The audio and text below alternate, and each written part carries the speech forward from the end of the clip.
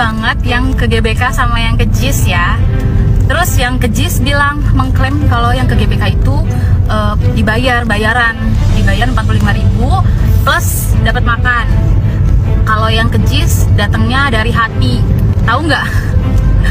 Adek gua no masih hidup orangnya. Disuruh ke JIS dapat 150.000 Pokoknya dapat 150 ribu deh untuk ikut ke JIS Terus mungkin kalau misalkan gua ngomong kayak gini Mungkin buktinya mana buktinya. Baru pertama kali nyoblos ya. Yang kayak gitu-gitu tuh gak akan ada buktinya lagi. Assalamualaikum warahmatullahi wabarakatuh. Saya Mai Rahmawati memohon maaf atas video saya yang beredar di sosial media. Jika ada pihak yang dirugikan atas pernyataan yang saya buat di akun saya. Saya tidak bermaksud untuk menyudutkan pihak mana pun. Atas statement tersebut yang menyampaikan bahwa ada salah satu paslon yang memberikan uang untuk menghadiri atau mengikuti kampanye akbar dan dibayar. Info ini saya dapatkan dari saudara tanpa berpikir panjang dan mencari tahu kebenarannya terlebih dahulu. Saya hilaf karena tidak ada cross check dan validasi, tapi langsung membuatnya jadi konten secara spontan saat saya sedang di jalan. Sekali lagi, saya memohon maaf atas nama pribadi. Saya memohon maaf yang sebesar-besarnya. Terima kasih. Selamat pagi para netizen di mana pun kita berada. Salam inspirasi, salam inspirasi bagi kita semua ya.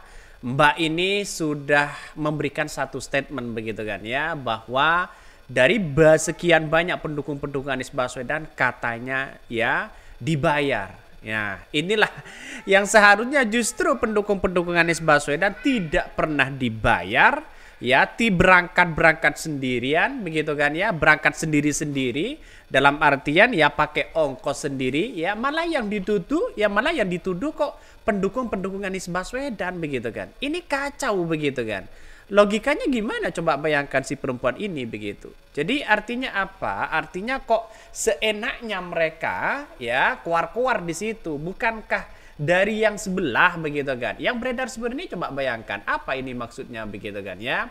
Ini kan sudah kelihatan dari mana mereka begitu. Jadi Eh, sampai hari ini masih muncul spekulasi di luar sana bahwa orang-orang yang datang di JIS yang membeludak sana sini katanya ya dibayar ya justru sebaliknya mereka kok bisa menyebarkan fitnah seperti itu begitu jadi coba lihat saja dari pendukung-pendukung uh, yang sebelah begitu kan apakah ini benar atau tidak dengan adanya uh, uh, apa namanya yang muncul beredar seperti ini begitu jadi ini sudah kelihatan ya sekarang ini mana yang bayaran dan mana yang tidak Untungnya, untungnya begitu ya, keluar-keluar dan pada akhirnya mereka ya minta maaf.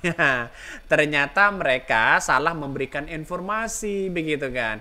Justru yang dibayar siapa begitu kan. Jadi bahkan ini pendukung kampanye Amin di JIS dibayar 50 ribu ya. 150 ribu.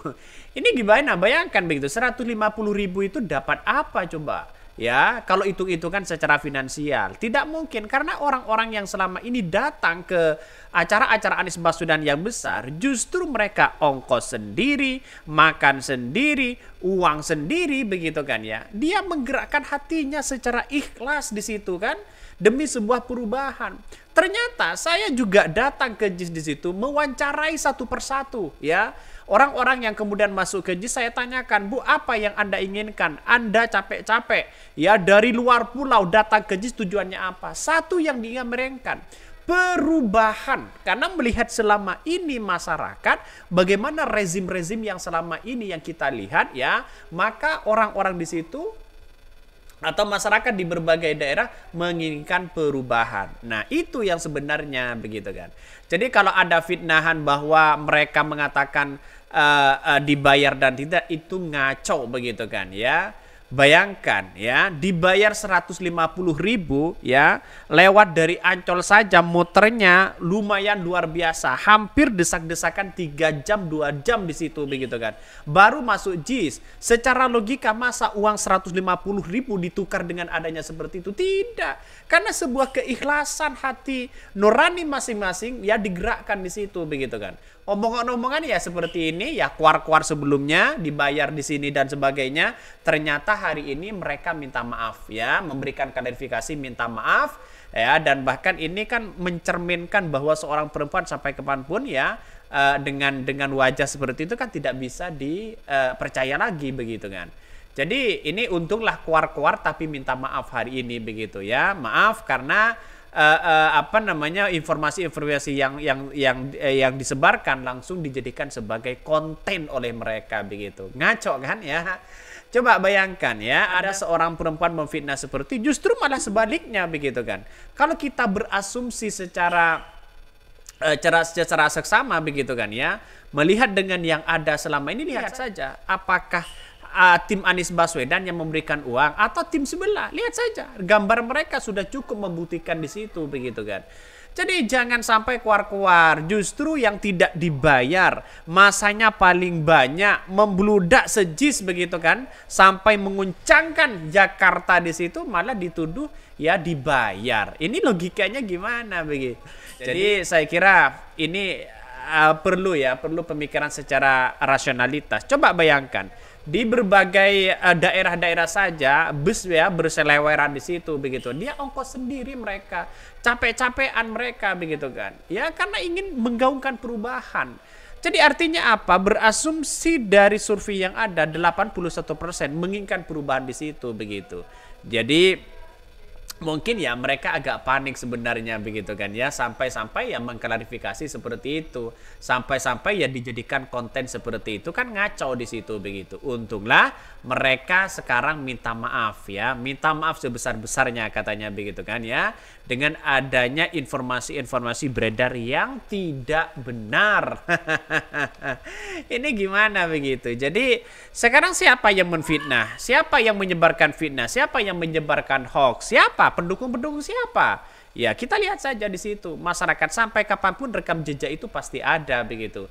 Jadi jangan sampai ya dikira bahwa ya aman-aman aja atau sekedar ingin uh, apa namanya melanjutkan atau apa begitu kan. Tapi yang jelas dengan hal-hal seperti itu salah begitu kan ya banyak informasi yang yang uh, uh, apa namanya yang uh, uh, mengatakan ya bahkan komentar netizen begini Dijadikan pelajaran untuk kita semua ya, untuk tidak menebarkan fitnah terkait paslon mana pun. Ya saya setuju dengan itu begitu kan. Tapi nampaknya dan rupanya ketika masyarakat sudah berdatangan di situ begitu kan? Ya DJ tanpa dibayar dengan sebuah keikhlasan yang sangat-sangat luar biasa ya kenapa justru ini hadir? Ada orang yang memfitnah sana sini begitu ya. Ada yang merakan perempuan. Tolol katanya di mana parah banget Mbak ya nggak bilang-bilang ya kalau ke sana dibayar 150 kan. Lumayan ya buat jajan. Senin besok ada Senin terburuk untuk dia kalau berani pergi ngantor semua akun medsos dia dan suaminya sudah off habis diserbu netizen.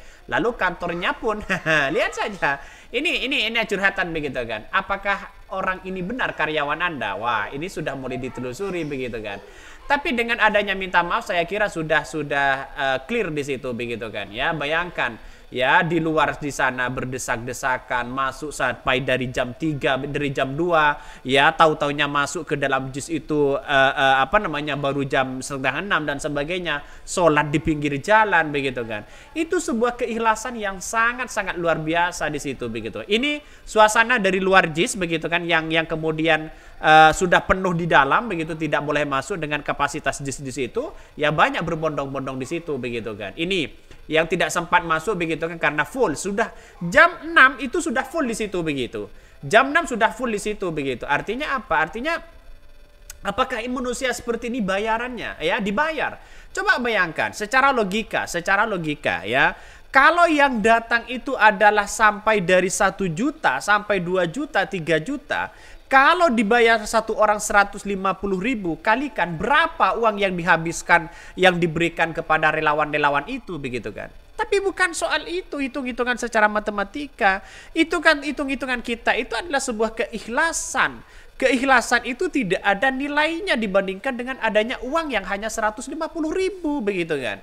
Jadi bayangkan semua orang-orang yang datang yang menggaungkan perubahan, saya yakin dan saya yakin-yakinnya itu tidak dibayar sedikit pun ya bahkan mereka rela bawa nasi dari rumahnya begitu kan ya. Bahkan rela bawa ya sebatang roti ya dari rumahnya di situ begitu kan. Demi sebuah yang menggaungkan uh, perubahan demi ya uh, apa namanya menitipkan aspirasi kepada Anies Baswedan. Itu satu di situ begitu. Jadi kalau ada orang yang memfitnah sana sini saya kira ada kebohongan besar di situ begitu. Kacau ya kacau kacau menurut saya pribadi dan akhirnya orang itu minta maaf begitu kan memberikan klarifikasi minta maaf sebesar besarnya karena mereka karena tidak sesuai dengan apa yang kemudian mereka tuduhkan. Oke, mungkin itu yang bisa sampaikan dan tonton terus channel Ho dari Podcast Rakyat ini karena ada berita-berita menarik dan viral setiap harinya. Salam para netizen, salam inspirasi, salam inspirasi bagi kita semua. Jangan lupa di subscribe channel YouTube Ho dari Podcast Rakyat ini.